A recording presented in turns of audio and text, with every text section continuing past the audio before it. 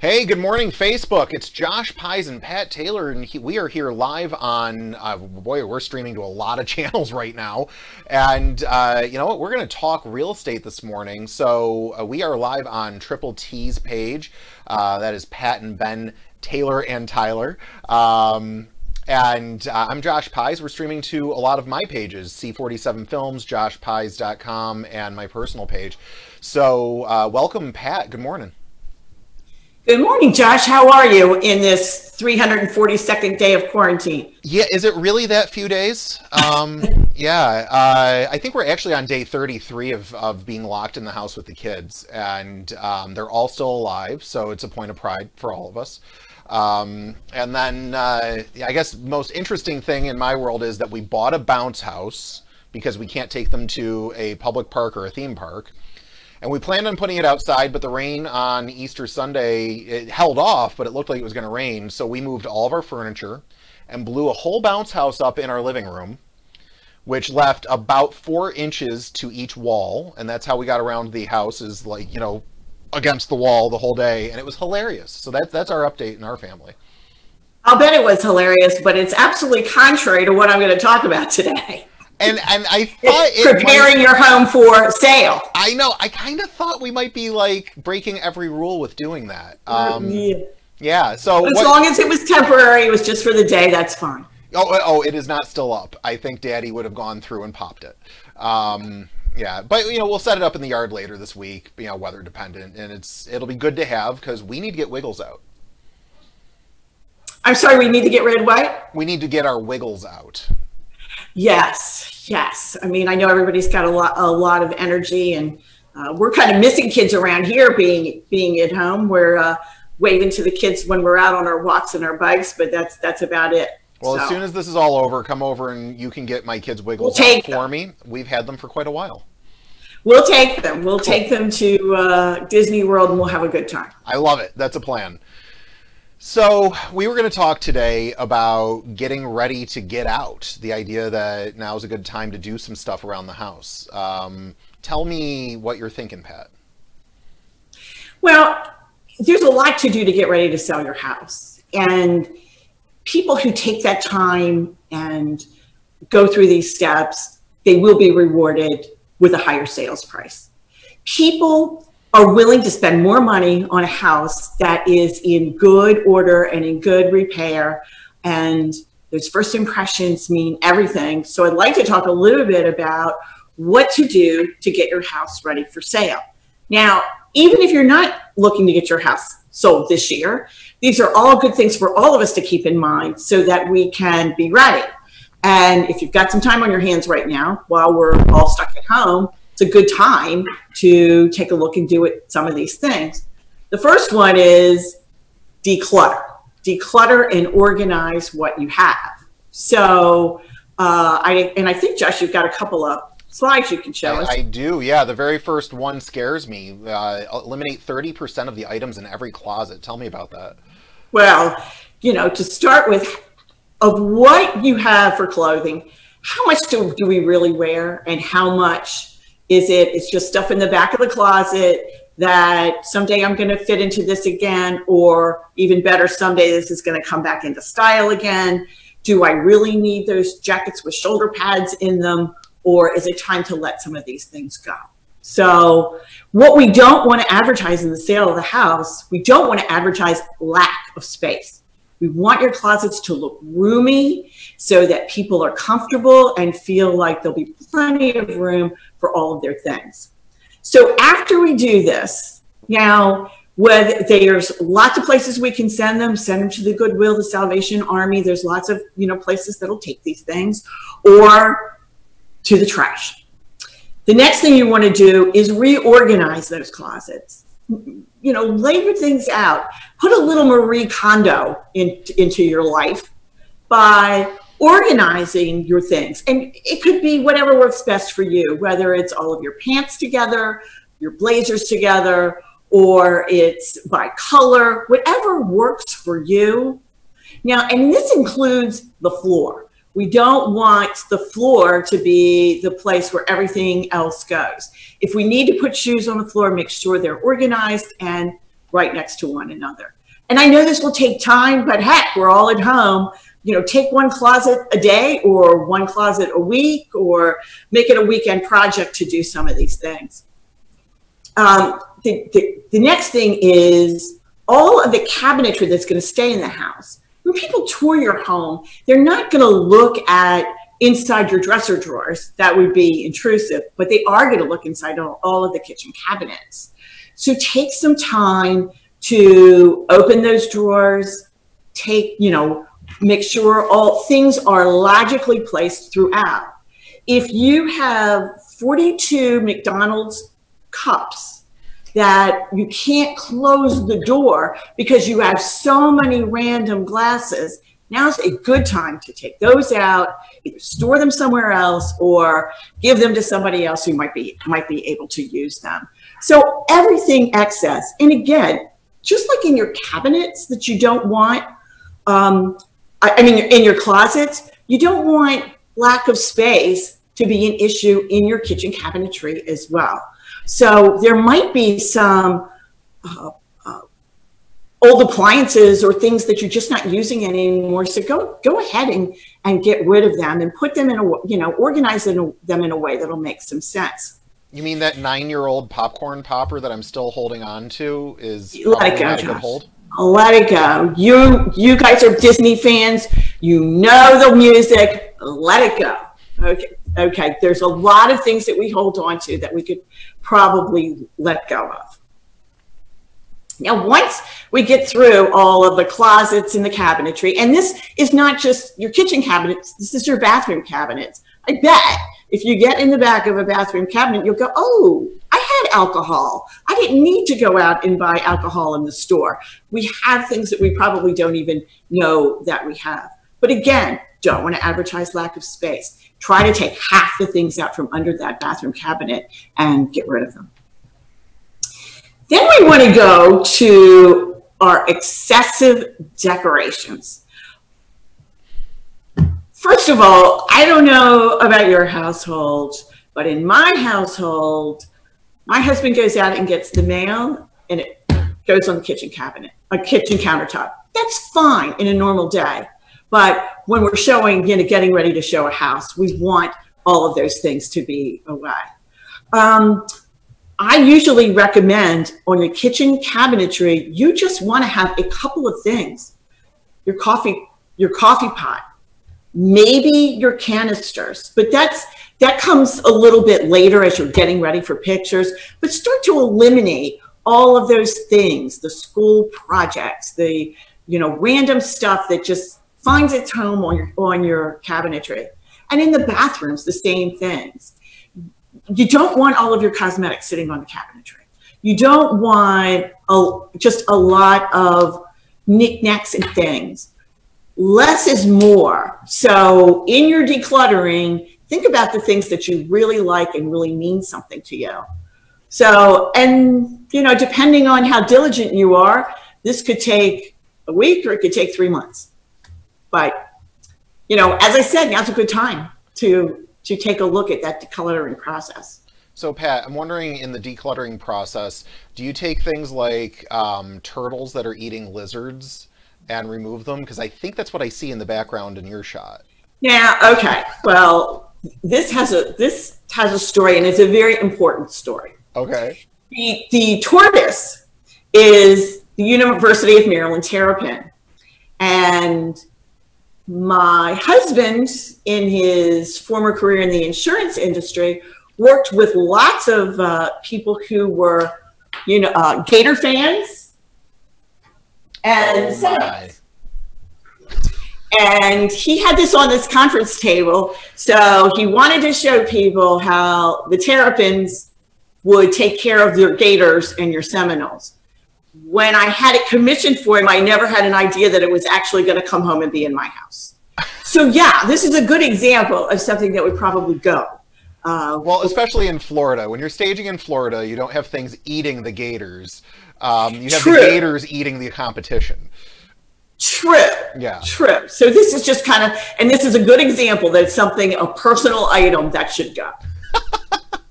okay. I just, you know, the whole time I'm sitting here going, uh, Pat, there's something over that? your shoulder I need to understand. And I couldn't wait to ask. So now we know. I'll move him for the next video. He'll. Oh uh, no, I think you should leave him. I actually very much enjoy him. Um, well, I don't want to, you know, I don't want to offend any potential Gator or Seminole fans in the future. Oh, I, I think we just need to have a friendly, friendly rivalry. I grew up in a family where half the family was Michigan State Wolverines and the other half was Ohio State Buckeyes, and that is you know, th- that's the Hatfields and the McCoys right there. And uh, it turned into a playful rivalry where, in my entire childhood, they kept having to raise the bar of the swag that I would get. By the time I was done, I was getting custom embroidered everything, and it was great. So, uh, you know, rivalry can be healthy. True, true. But this is this is the way he showed all of his uh, coworkers that uh, you know who was who was boss. I love it. Okay, so I know that was a diversion and a distraction, yeah. but I think you were getting onto something about repairs. right.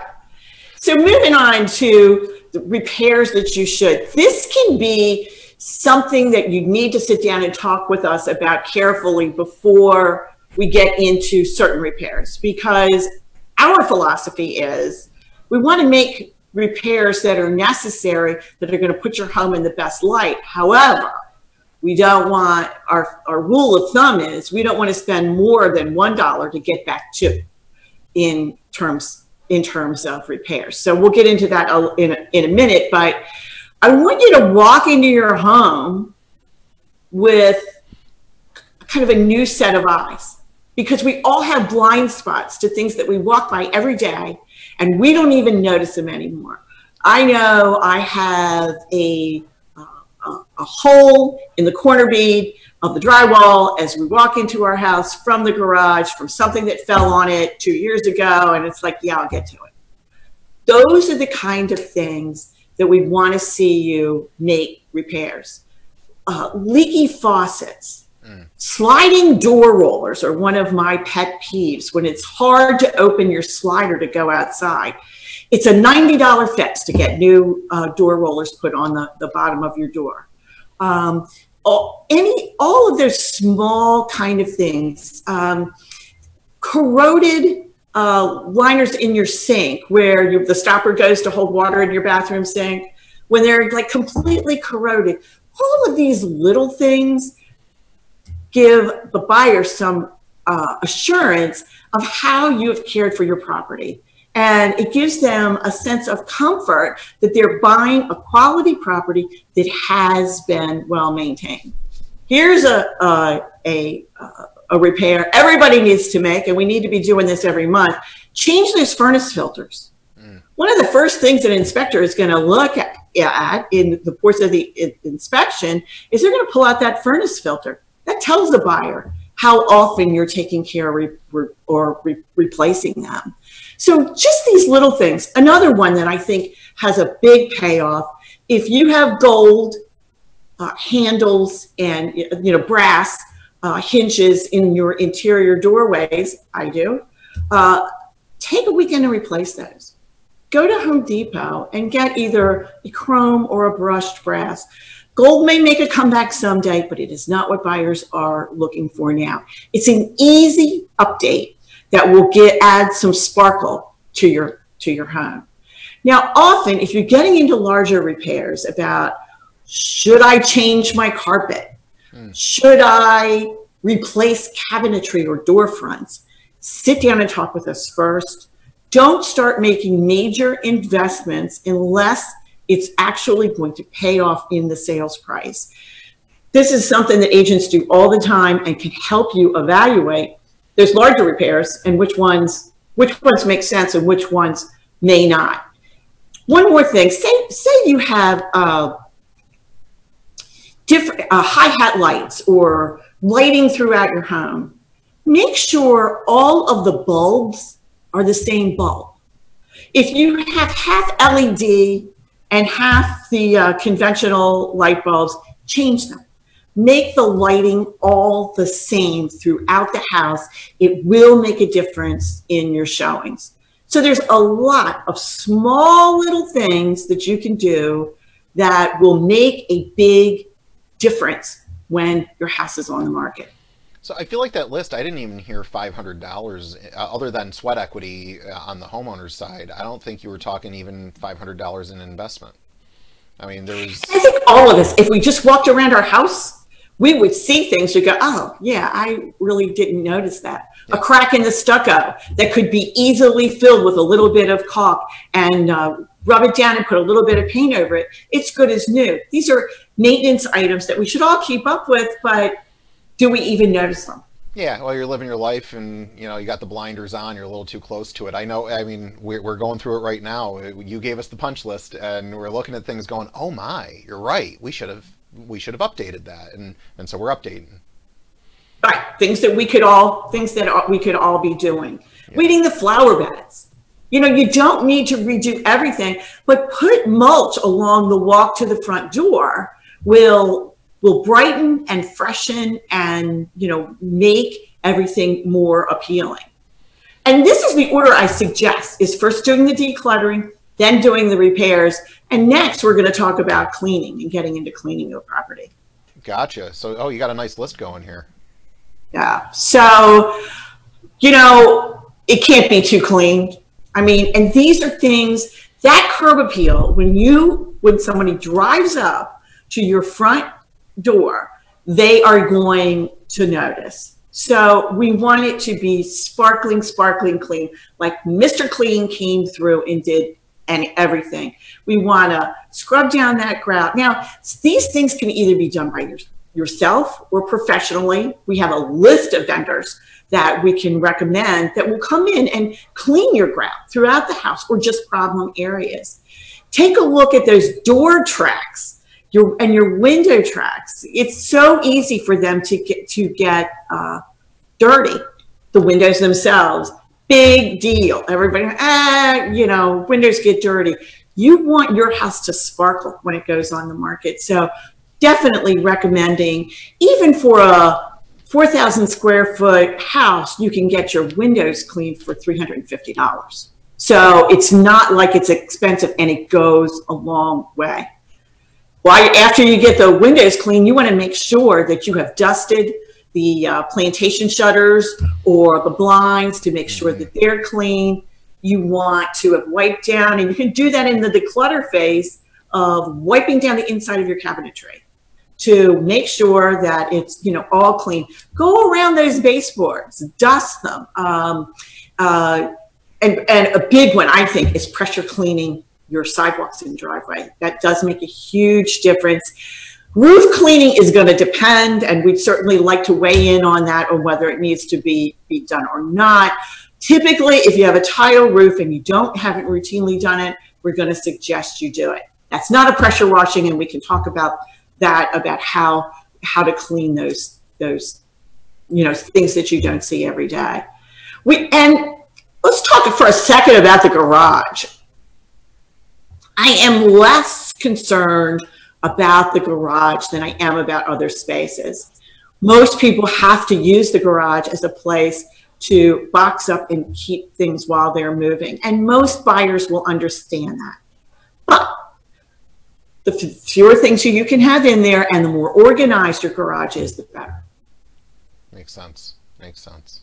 Overwhelming. I know it yeah. sounds overwhelming. But on the other hand, your house, typically, for most of us, is your most valuable asset. You want to be able to maximize every dollar out of it, whether you're moving upsizing or whether you're downsizing or whether you're just simply moving away. Yeah, well, that makes sense, and and the idea that all of this effort turns into return on your time and investment because you're going to get a higher sale value. You're literally paying yourself to do this work. Right. Yeah. Right. Cool. And I know you have uh, another point about staging. What's uh, what do you do in the staging process? Okay. Staging is going to be a whole nother conversation for another another time. We'll get together and talk about that in detail later. However, I will, would say there are basically three kinds of staging. I am actually an ASP, which is an accredited staging professional. Um, okay. So I, where I like to stop is I like to go, work with you in your home and make suggestions about these are the things we want to take away. These are a few things we may want to add into the decor. And this is some furniture rearrangement that we might want to do. Okay. So I feel very comfortable in working with homeowners to do that. Um, and staging includes, includes all kinds of things like, is the paint color appropriate for this space? I happen to love red. I have one red accent wall in my living room. Would I sell my house like this? No. I would paint it back to the neutral shade that the rest of the uh, the walls in the room room are. So there, so that's a step one staging is working with me. Step two is you can hire a professional stager to come in and just give you an evaluation. Though that cost is going to be between $200 and $350 for a two hour session. Um, and we can talk, we'll talk more about that later.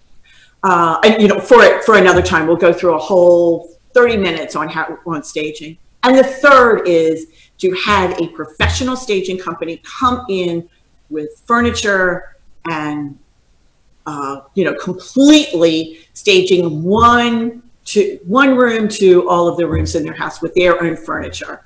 Um, and there are times when this makes very good sense. However, it's very expensive. Uh, the first uh, consultation can be up to $800. The initial putting the furniture in the house can be two to three thousand dollars, and then there is a monthly cost of renting the furniture, which depends. It can go anywhere from uh, three hundred dollars a room to six hundred dollars a room to for the rental of the furniture. There are places for all three types of staging, and that you know, uh, I think we could. Uh, we'll add pictures in and show you uh, examples of staged versus unstaged so that it help you to uh, decide what you want to do. But at this point, being at home, take, you know, start working on some of these things. And Josh, I do have to tell you something else. This may be the last live I'm able to do with you without a hat on. Um, since I can't get out of the house, I'm trying to keep my head up as much as I can so that nobody can really see the true color of my hair. Well, that is a problem that a lot of people have right now. I will tell you, my friend who had a wickedly cool pompadour only about three weeks ago now looks very much like me because it was just flopping over and he was looking more like an 80s metal band. And so he has shaved it all down to about 16 millimeters the way I've been doing it, which is, I think, it is just the new quarantine chic yeah, but all this time I thought I was kidding. I was fooling people. You know, I thought they didn't know that I really had gray hair. Well, and it's I can tell you I personally never thought about any about your hair color other than you look like you. You know, so it's like I don't know. It is what it is. Right. I know. I know. It is exactly what it is. Um, well, uh, Amazon still delivers. I will say that. So if you've got, if you want to get color in a box, I'm sure there the prices might be going up, but uh, I'm sure you can get it. You know, to that point, I had a client in uh, San Francisco who really wanted to get a better webcam. And so I was like, well, you know, I, I, can guide you through the process. And we started looking at stuff. And the camera I thought I was going to recommend was originally $47. It is now $290 and on back order because everybody's on Zoom. You know, supply and demand. Right. Here we go. And right. so uh, I have a feeling hair color is going to go up in price. I'm, I'm sorry. well, you know, a big shout out to Sammy at Scissors, who takes very good care of me and my hair color. There you go. And I'm going to try to hang in there and wait for her because I'm afraid of doing, you know, there's some things that you leave to the professionals, like like real estate. You know, like selling your home, like hair color, you know, all important things to leave to somebody who ha- who knows what they're doing. That makes a lot of sense, and that's a really cool place to leave this. Is um, you know? Everybody who follows me knows that I'm always talking about. So, you are probably an expert in something, and the world should let you be the expert in that, and you can help people from there and stay in your lane. Gosh darn it, because you've been working that lane so hard already, you might as well, right? And let and let other people do that special thing that they know how to do for you, so that you don't go and muck it up, because uh, you know you could, and that would stink. So, with that, um, I'm Josh Pies. This is Pat Taylor. Thanks, Josh. It's been a pleasure being with you today. And always a pleasure being with you. Uh, everybody knows we go live every now and then, at least once a week with Triple T Realty and then with a lot of other people. And if you think, gee, I want to go live with Josh, you probably know how to find me. But if you don't, just email me at the easiest email I have. Are you ready? Josh at joshpies.com. Until then, uh, don't go licking. Hey, wait a minute. Let me give mine as well. Yes, please. Is Pat at three T's. It's T T T Realty.com. Awesome. And with that, wave to your neighbors, don't hug them, and stop licking doorknobs. We'll see you. Be safe.